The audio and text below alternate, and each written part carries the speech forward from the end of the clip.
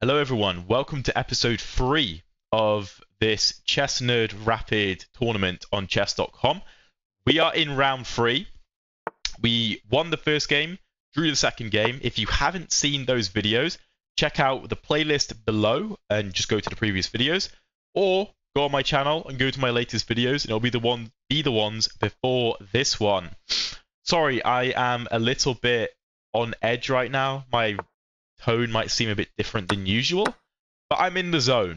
We're going for a Tartakower. If my opponent allows it, he does. And this is the same line that we played in the first game, and knight f3 is a mistake.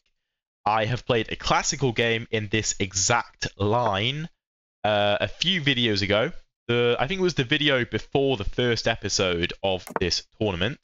We played this exact line. Bishop e3 we didn't play, but this is just a bit of an issue for white, basically. I'm going to drop back. My opponent could go like g4 and then maybe castle queenside. That is playable. He goes kingside though. Surprising. Surprising.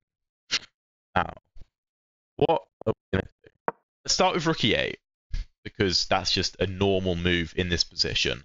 This knight is going to come to d7.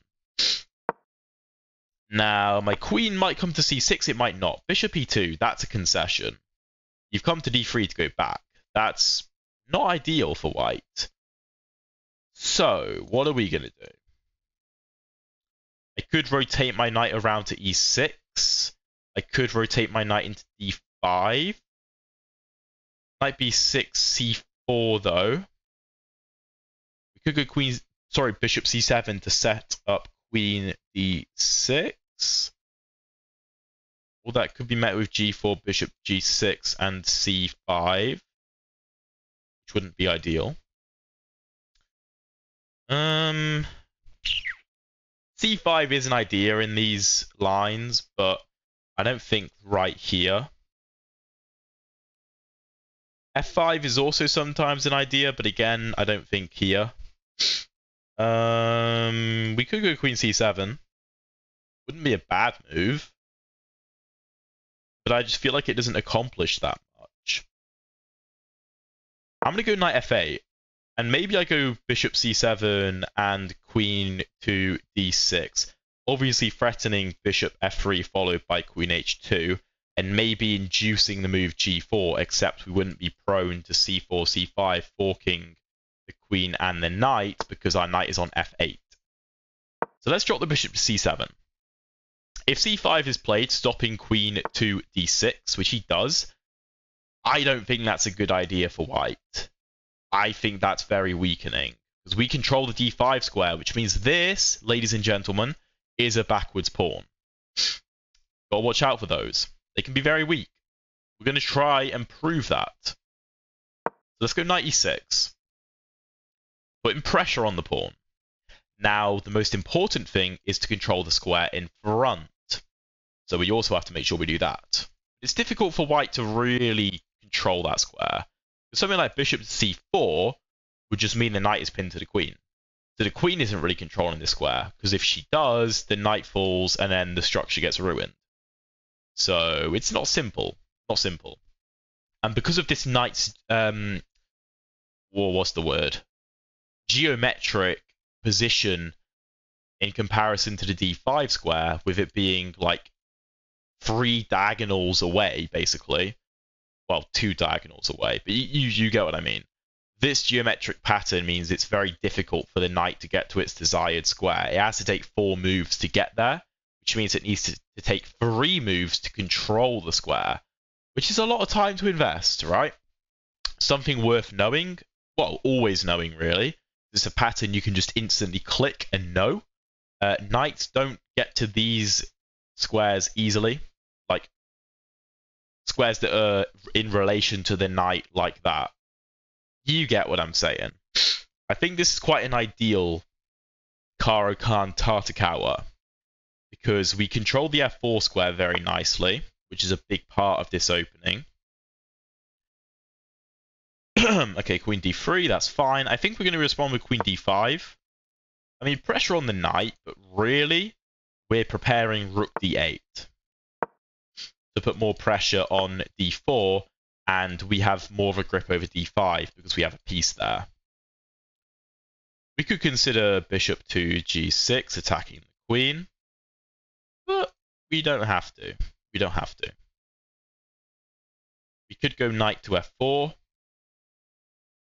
and do this.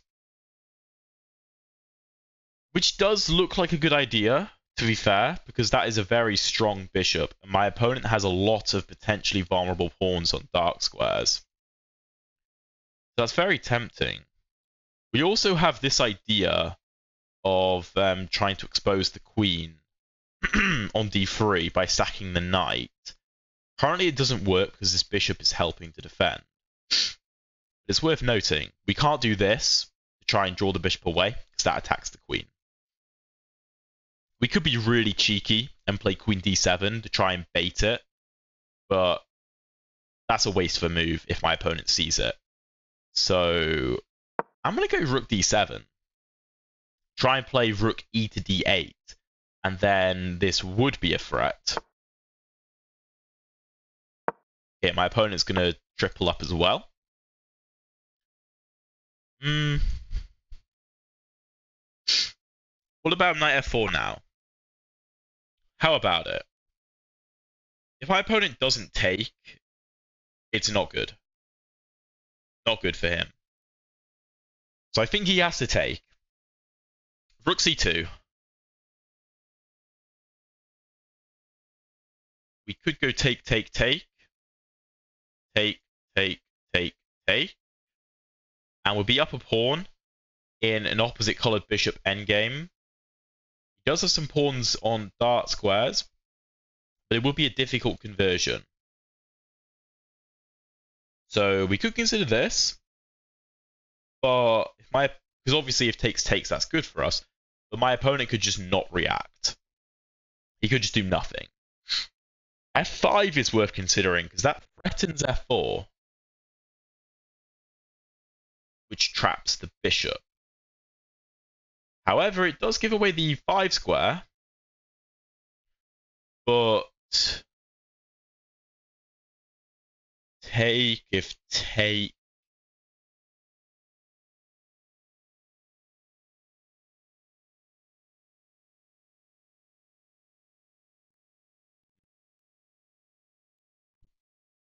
we could take. That looks decent, actually. I'm going to go F5. That looks like the right idea to me. And again, I know F5 is a very common idea in this opening, just executed at the correct time. Sorry, my throat is a bit weird today. Um, I've got like a bit of a cold, but not like totally. It's more of just like a weird throat, which is kind of annoying, but I feel fine. I feel fine. I can still work out and, you know, do my jobs and whatever with no problem. It's just annoying. I was in um a lecture at university earlier and I was just sniffing all the time and I felt really bad because I was like uh you know, it's just kind of off putting for people, isn't it? So I was trying not to. But this is just good. And like I said, way back when, on move 14, this is just a weakness. Well, that's not a weakness, but that is a weakness. And the reason is, you have to keep this pawn on c4, really, because it controls d5, which means that this pawn has the ability to move to d5 better. What's happened is he's moved it to c5, which has meant that over time, I've just put a piece there. So this pawn can never ever move, and it's got no pawns behind it that can protect it. So I just put all of the pressure on the pawn and just built my pieces around attacking that pawn. And it's a problem. It's a big problem for white. if knight e5, I don't think this works. Because here, here, here. And I'm just losing material. Yeah, it doesn't work. Can I do it any other way? well, I could go like rook e7, but that feels like a sad move. So yeah, he does go for it. I think I have to take like this. And if he takes like this, yeah, no, he does that as expected. Um, ooh, actually, I can just go f4. I can just go f4 because you can't take because there's a pin. f4, bishop f3, bishop 8, sorry, queen a2, b4.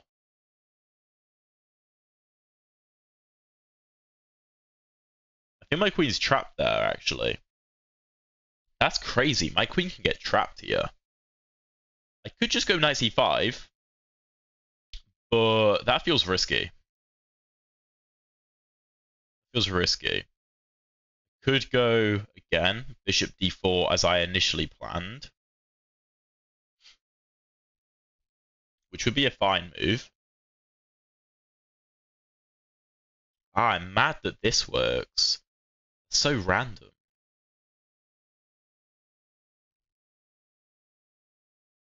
I think, or I could take with a knight actually. If I take with a knight, then this doesn't happen. Um, you take with a knight.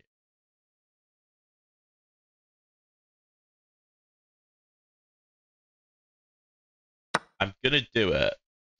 I'm honestly not 100% sure if this is the best course of action. I don't know if I'm tying myself up in knots potentially. I don't think so.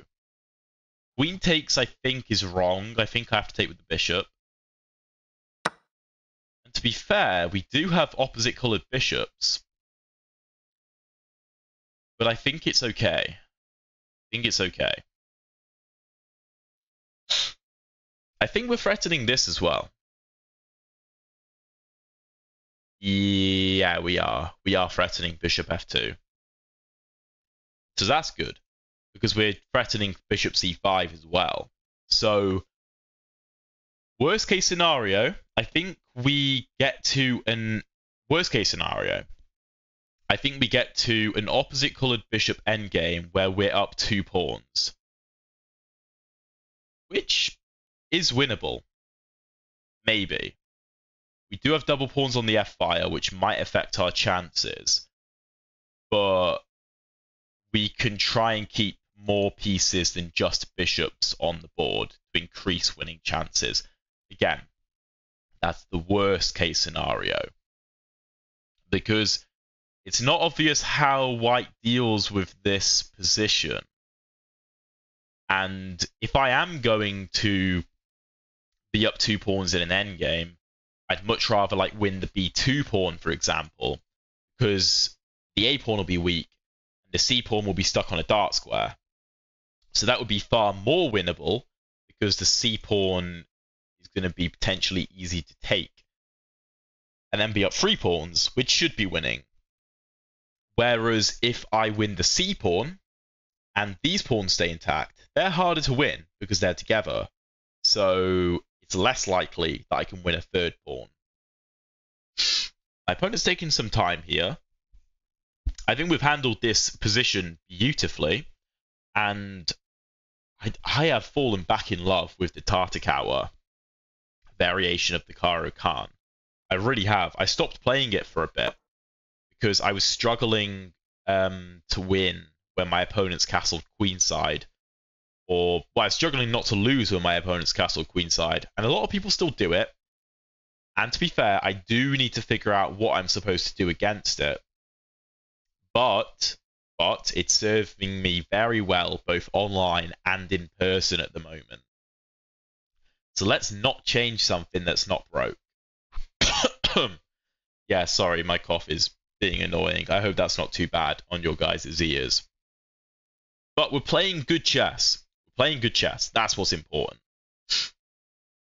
And he's down to two minutes. Remember, the zero increment in this format. So this will be a very nice win if we can get this over the line. A very nice win. Put us on two and a half out of three.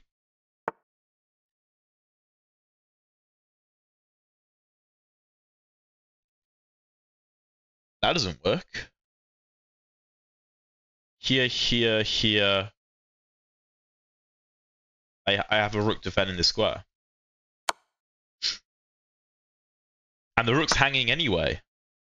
I think he's miscalculated this, or he just completely missed it. Which he might have done. But this is a this is a complete win now. I mean, I'm up in exchange and two pawns. My pawn structure is beautiful. I can meet something like rook e7 with rook d7 if I want to be ultra solid. This bishop doesn't even have much to look at. Because after g6, yes, I will have a lot of pawns on light squares, but they're not vulnerable. They're just going to restrict his bishop's movement and scope. Big difference between like pawns on light squares like this against my opponent's bishop and pawns on dark squares like this against my light against my dark square bishop when I had one. Yeah, let's just drop back, offer him a rook trade. I mean, if he trades with me, then he just accepts that it's game over. Although, I did just allow this. But if he does that, king f8, and he has to trade with me. And then he can retreat his bishop, but it's game over. Because I get rook e2, sorry, rook d2 anyway. it would have been cooler if I'd have actually planned that. Honestly, I didn't. But at the end of the day, the position is so good and so winning that it doesn't really matter. And my opponent's clock is ticking down. Remember, there is no increment. My voice is dying. I'm I'm trying my best for you guys here. Honestly, I'm trying my best. I don't want to have to step out of this tournament early if I can help it. Yeah, he goes for this, but this, if anything, makes my job easier. Guys, give this check. Take this. Um, no, you actually can't have this pawn now. You can't have this pawn either, mate. No.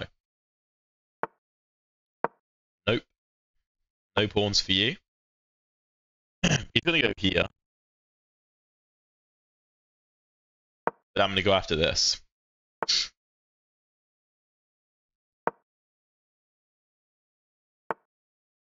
And defend. Let's push. Let's take. Just why not? Let's go to e2. Fork. and my opponent times out anyway. Oh, my um, my opponent just said uh, in the. Oh no, it wasn't my opponent. It was Dog Lizard. Dog Lizard. He goes ace chess centurion in a, chess nerd tournament. Hell yeah. I mean, we've got to try and take um, my man Zach down if we can. I mean, he's currently on three out of three, but yeah, we get some recognition. That's kind of crazy. I didn't think people really knew who I was like that. That's pretty cool. Um, will this be on YT? Absolutely, dog. Um, and Dog Lizard, you're watching this. Thank you for recognizing, bro.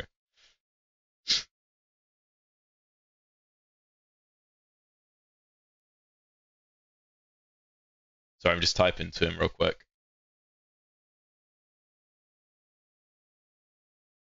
Because I'm giving my man a shout out. Um, yeah, let's do a quick little analysis on this game. 91.2% accuracy for me, 84.1 for my opponent. This was definitely one of my better games so far. And yeah, f5, very nice move. I'm happy I found that. Knight takes, was that the best? Bishop takes was better, but it's probably interchangeable to an extent. Knight takes, takes, takes, rook e1 just blunders this. I wonder what his best idea was. Queen c2. And then do something like this. And I guess white actually does save himself both pawns. Uh, the computer prefers this. Interesting though. I mean, it was just a solid Caro-Kann game, really. I would do more of an analysis, but honestly, like, I just feel rough. Um, I'm gonna finish out this tournament because I'm dedicated to the cause. But yeah, we're on two and a half out of three. We've got three more games to go. Let's see if we can make the first place spot. Thank you very much for watching, and I'll see you in this game in tomorrow's video.